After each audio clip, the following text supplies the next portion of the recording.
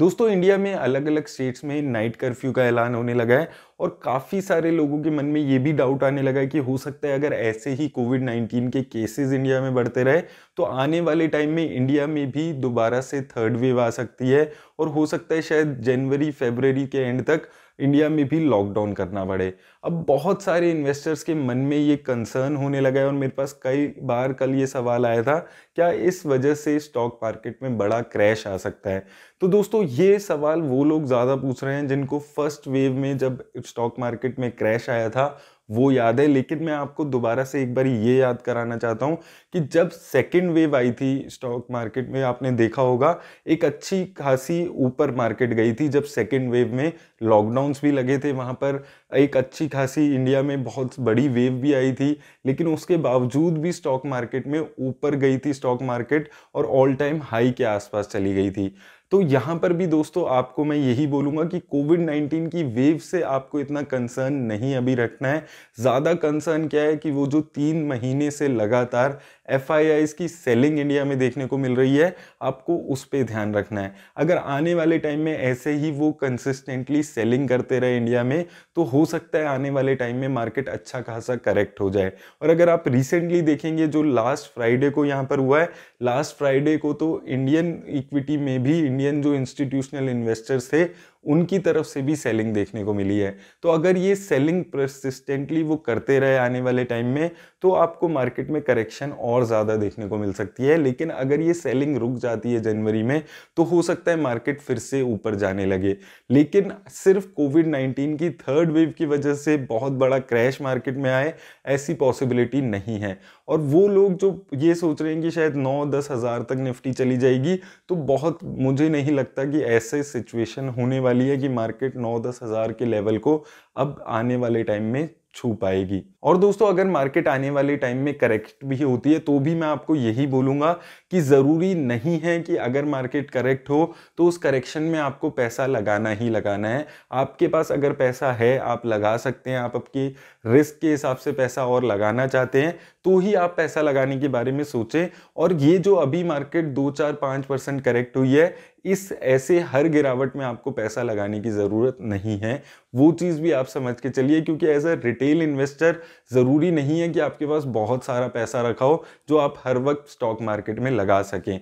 तो वो चीज़ भी आपको समझ कर चलनी है ज़रूरी नहीं है कि मार्केट करेक्ट हो तो आपको उसमें पैसा लगाना ही लगाना है। एक रिटेल इन्वेस्टर के पास एक लिमिटेड कैपिटल होती है तो उस लिमिटेड कैपिटल को आपको अगर बहुत बड़ा क्रैश आ जाता है मार्केट में तो ही आप यहाँ पर लगाने की सोचें। और ये चीज़ मैं आपको लगातार बताता हुआ आ रहा हूँ कि अगर आपको इन्वेस्ट भी करना है डिप्स पे मार्केट करेक्शन पे आपको इन्वेस्ट भी करना है तो आप एक स्ट्रेटेजी से इन्वेस्ट करें। ऐसा नहीं है कि मार्केट एक दो परसेंट गिरती है तो आपको इन्वेस्ट करना ही करना है। 500 पॉइंट का एक रेंज ले लीजिए कि निफ्टी अगर 500 500 पॉइंट नीचे आएगी तो आप अपना 10 10 परसेंट पैसा उसमें लगाएँगे। इस टाइप से आपको इन्वेस्ट करना है। अगर मार्केट 5 7 परसेंट करेक्ट होती है तो ज़रूरी नहीं है आने वाले टाइम में भी कि आपको उस वक्त लमसम पैसा लगाने की ज़रूरत है। अब दोस्तों, ये चीज़ काफ़ी सारे लोग मुझसे पूछते हैं कि कैसे वो हमेशा स्टॉक मार्केट में क्रैश के लिए प्रिपेयर रहें?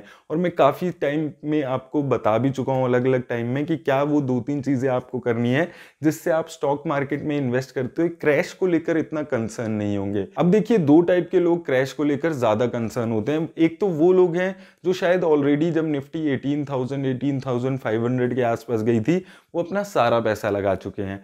और दूसरे वो लोग हैं जो काफ़ी सारा पैसा अभी लेकर बैठे हुए हैं और उनको लग रहा है कि मार्केट क्रैश होगी तो उस क्रैश में आप पैसा लगाएँगे।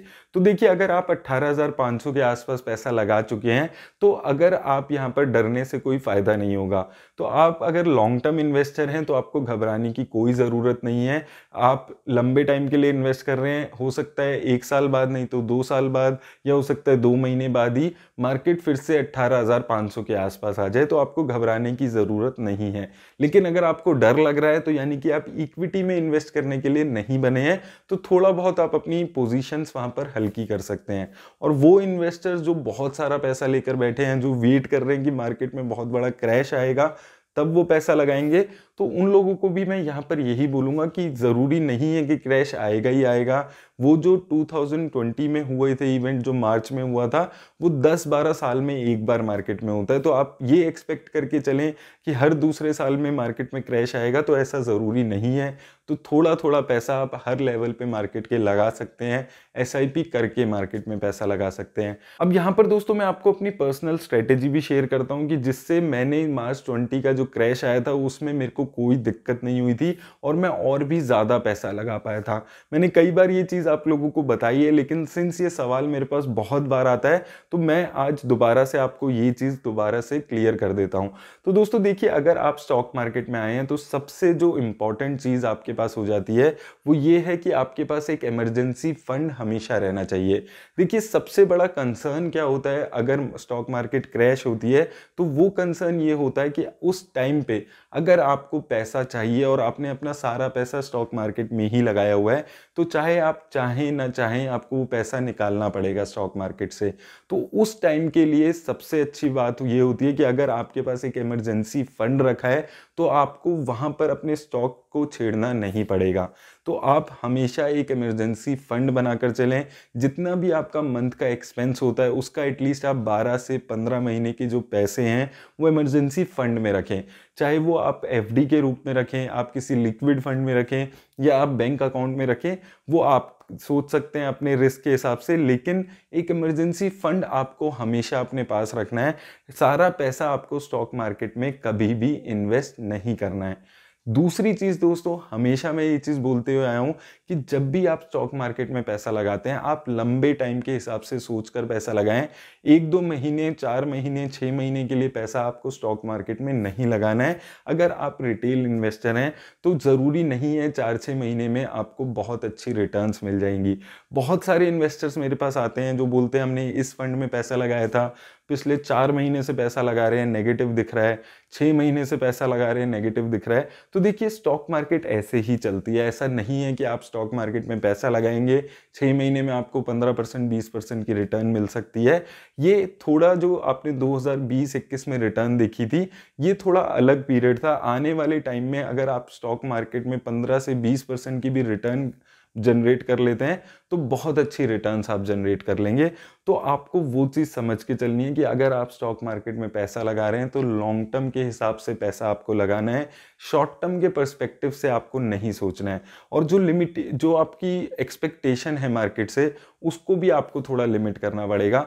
अब आने वाले टाइम में 2022 में ऐसा नहीं होने वाला कि आपको लार्ज कैप में 50 परसेंट की रिटर्न्स मिल जाएँगी स्मॉल कैप में आपको 100 परसेंट की रिटर्न मिल जाएँगी। अब 2022 में वो चीज़ नहीं होने वाली तो वो चीज़ आप सोच कर चलिएगा स्टॉक मार्केट में पैसा लगाते हुए। और तीसरी चीज़ दोस्तों, जो मैं हर बार, लगभग हर वीडियो में आपको बोलता हूँ एसेट एलोकेशन बहुत ज़्यादा ज़रूरी है। आप कितना रिस्क ले सकते हैं वो आपको समझना है स्टॉक मार्केट में नुकसान भी होता है। ऐसा नहीं है कि प्रॉफिट ही होता है। आप कोई भी शेयर खरीदें, आप कोई भी म्यूचुअल फंड खरीदें, आपने शेयर मार्केट में पैसा लगाया है तो वो ऊपर ही जाएगा, ऐसा नहीं होता है। तो वो चीज़ आपको हमेशा याद रखनी है। तो उस चीज़ के लिए आपको ये बहुत ज़्यादा ज़रूरी है कि आप अपना एसेट एलोकेशन अपने रिस्क के हिसाब से करें। जैसे कि मैंने एक एमरजेंसी फंड बताया जो आप अलग कर दें, उसके अलावा डेट में भी आपको पैसा लगाना ज़रूरी है पीपीएफ RBI bonds जो भी इंस्ट्रूमेंट्स आपको समझ आते हैं गोल्ड उनमें आप पैसा ज़रूर लगाएँ। सारा पैसा इक्विटी में आपको नहीं लगाना है। और इक्विटी में भी जो आप पैसा लगा रहे हैं, उसमें भी large cap mid cap small cap में एलोकेशन आप अपने रिस्क के हिसाब से करें। रिटर्न के लालच में अपने रिस्क प्रोफ़ाइल को भूल कर आप अगर पैसा लगाएँगे स्टॉक मार्केट क्रैश होती है तो आपको दिक्कत आ सकती है। क्योंकि उस टाइम पे बहुत ज़्यादा पेन होता है जब आपका पोर्टफोलियो 20-30 परसेंट नेगेटिव में दिखता है। आप दो तीन साल से पैसा लगा रहे हैं, अचानक से स्टॉक मार्केट में क्रैश हो गया 20-30 परसेंट आपका पोर्टफोलियो नेगेटिव है। तो अगर आपने रिस्क के हिसाब से पैसा नहीं लगाया होगा तो उस वक्त आप घबरा कर अपने म्यूचुअल फंड्स बेच देंगे, अपने शेयर्स बेच देंगे। चाहे कोई कितना भी बोलता रहे, चाहे आप कितना ही लॉन्ग टर्म के हिसाब से सोच के आए हो, लेकिन आपने अगर अपने रिस्क के हिसाब से उस वक्त पैसा नहीं लगाया होगा तो आप शेयर मार्केट में नहीं टिक पाएँगे उस वक्त। रिस्क का मतलब दोस्तों सिंपली यही है कि आप कितना लॉस लेने की क्षमता आपके अंदर है। तो उस चीज़ को समझकर आप हमेशा शेयर मार्केट में इन्वेस्ट करें। उम्मीद करता हूँ दोस्तों, इस वीडियो से आपको हेल्प मिली होगी। वीडियो अच्छी लगी हो तो इसे लाइक और शेयर ज़रूर कर दें। धन्यवाद।